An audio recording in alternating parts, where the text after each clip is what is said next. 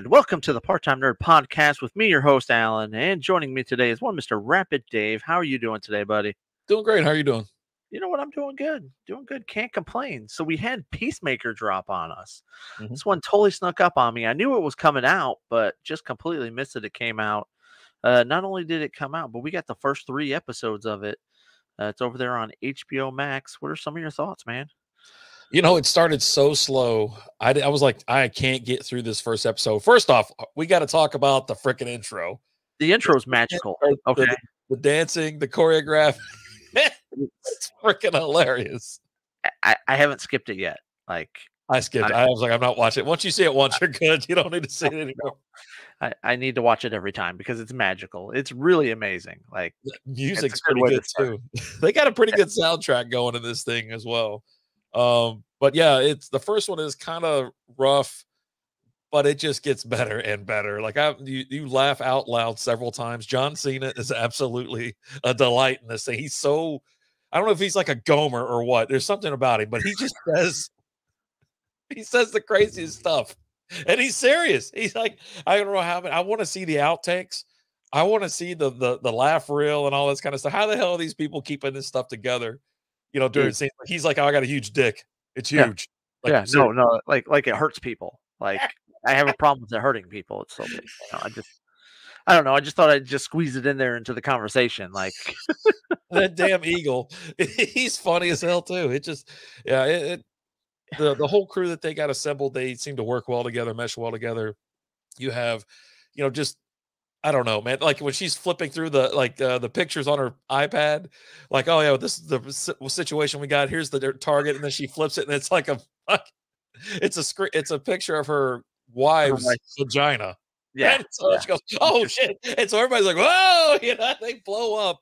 You know, it's like they're not professional at all. They're just wild asses. It's hilarious. It is. it- he drops the amazing. They're sitting there and they finish going through it, and he's like, "Oh, okay, so your, yo, your wife, okay, cool. No, man, I, hey, I, I, I support it fully." He says, "Anyone else have any questions? Yeah, is scissoring real, or has the, has the internet been lying to me?" like butt baby is I, I believe butt baby is tall as 14. It's like there's there's so many drops and it's just crazy as hell. His dad is wild, Dude, wild as hell in this movie. is Just holy hell! Yeah. Like, just uh, it's it's so much fun. Like that. That's the thing with it. And it's James Gunn who has done no wrong. Right? He did the the Guardians of the Galaxy movies. He's did uh, the last Suicide Squad movie. Plus, uh, people talk about all of his other body work, but I'm just talking about his superhero stuff. It's all been great. You know, you get a movie in the, the last Suicide Squad where the DC movies have pretty much all sucked. And then he churns that out, and you're like, okay, I like this. This is good. Uh, I've I've felt like that for the, with this, um, and I love the introduction, which I don't know if you've noticed or not. Have you stuck around for all the post credit scenes? Yeah, I've been watching them. Like, cause you, Okay, you right. notice they pop up. There's something popping up there. So I'm just like, all right, catching this, catching this. So that it's only 15 seconds generally. It's really quick. Yeah, li- li- like the first one is great. He's sitting there talking to his dad, trying to get the new helmet. He's like, in this one here gives you scabies. Why? Why? Why would you want that? Well, every man should have it once, you know, to challenge yourself.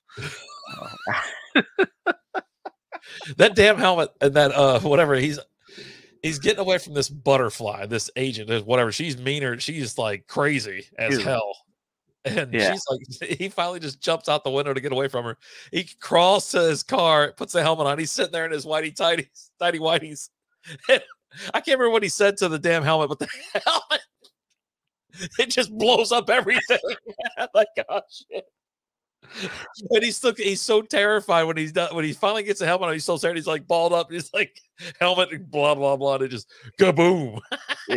it's it's it's just so awesome and and it's got a good story though too right like it's not just wheels off crap it does have a story you know peacemaker's really struggling with who he is as, as a hero and things like that and he's hearing all these stories that he's a racist and all this stuff and like at the very beginning when you know when he's sitting there talking to that guy and he's like man oh yeah peace peacemaker yeah you're the racist what, what? no i'm not i'm not racist just look at the numbers man he's like i kill white people too just look at the numbers though bro like it's just I it- like that guy. The janitor guy is hilarious. He's been on several other shows, and he is uh, just a star. And I want more of him because he's so funny. and I'm hoping we get more because he is in the opening credits, right? So that kind of leads me to believe that we might get some more of him. But yeah, no, he he is awesome. I, I definitely love him. The five minutes he's in that first episode are great. Uh, He goes, "You went? To, I went to MIT." And he goes, "You went to MIT?" And you're sitting there. He goes, "And you're and you're washing the or scrubbing the floor." And he goes, "I don't like responsibility, man." Like shit. Like oh my god. I mean, they just it's such a quick and uh very high. Uh, the conversation they have is fast paced. Like it's it just is. keep I up. don't know how the hell they did it. keep, keep up but it's it's awesome it's and, and vigilante is is good as well I, I like vigilante now this is a different type of version of vigilante because i watched uh arrow on cw and they had vigilante there and it was much more of a serious character but in this he's very the pretty much the exact opposite He's a Uh, goofball in this one. but he's Um, just played by uh this kid i knew i knew i recognized or the voice or whatever and then obviously when he pulled his mask off um i recognize him he's the kid he's he's been in harry potter he Was was, he in one Harry that- Potter? he was going out for goalkeeper against ron and he has a the hots for hermione and stuff like that okay, that's that kid. guy oh man that guy yeah that guy he got screwed over by Hermione, and you ain't seen you never saw him after that. Like he had his big tryout, and Hermione made him screw up, and he just disappeared off the face of the earth after that. Man, poor guy. but he's funny i love his character in this movie he's like just I don't know, so light and poppy, but he, he ain't taking that mask off. And like when they finally the guy takes it off to tear uh, to torture him, he starts making all these faces. He goes, "I'm just gonna keep shaking, making faces until you know, so that you get you'll never be able to recognize me. You never be able to put two and two together." And they hook up like a battery to his nuts, and for some reason, they got the battery hooked up to his balls. And they have John Cena, Peacemaker, over here. He's asking oh. Peacemaker questions, and he goes, "I'm never gonna crack, man." It's like, he's like, "Why are you gonna?" cu-" He tells me he's gonna cut off his pinky toe. Why are you gonna cut off my pinky? Well, because he's obviously the alpha, and uh, he's the one who has all the information. So, uh, you know, I can't harm him. I got to harm you. Like, he goes to town on that pinky toe for like five minutes. He goes, "I don't know why it's why is that cut through." He goes, "Because you don't take care of your equipment, man."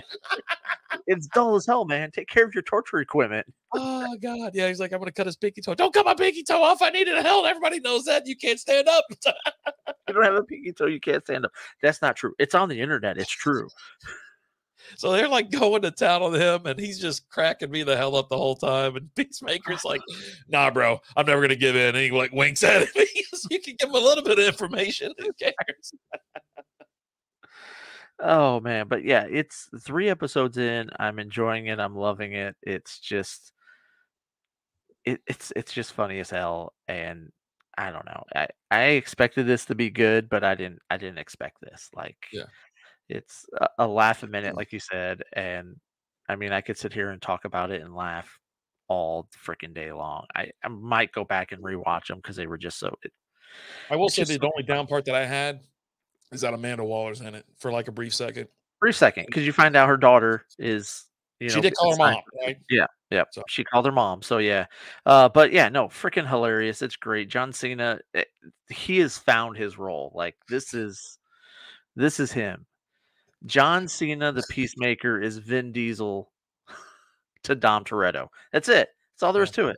He's Oh, he's forever going to be labeled as Peacemaker for me, and he's absolutely crushed. He's someone that I've seen in other movies. I'm just like meh, meh, meh. But this, yes, yes. When he's sitting there talking to his dad, and he's you know funny story you know we had this guy on this mission we were in and he was just scared of rats and you know you know how he got he was scared of rats because his dad locked him in a box with 250 rats and his dad's laughing laughing his ass and he he looks at him and goes that's not the guy that shot you is it he's like "What?" You know what what happened over there in Corto Maltese is classified information so you know it's, it's just just so disappointed in him and it's just it's so great Yeah. You, then you find out his dad is the the White Dragon. Yeah, yeah, that's. I saw him go in jail. I'm like, okay, and they're like, oh, look who it is. I'm like, okay, yeah, this guy's. A big... And then they start doing that. I'm like, oh snap. Yeah. Um, yeah, but this is it's great. Uh, Eagly is awesome. Uh, every everything is awesome. I love it. I love it. Uh, can't wait. I'm I'm sad now. I got to wait on a weekly basis to watch it. yeah. It comes out on Thursdays, if I'm not mistaken. Uh, something like that. Yeah, I'll have to Mm. double check. I think I think HBO Max does the Thursdays because uh, Disney Plus does Wednesdays. So, but yeah, check it out, guys. Uh, Peacemaker, it's on HBO Max. First three episodes dropped. You'll get weekly episodes for I think there's like eight or something like that. I'm not positive, uh, but check it out, guys. Uh, thanks so much for watching. Like, share, subscribe, comment, follow, all that fun stuff. If there's something you want us to watch, shoot us over an email, part time nerd podcast at gmail.com. Until next time, we'll talk to you later. Deuces.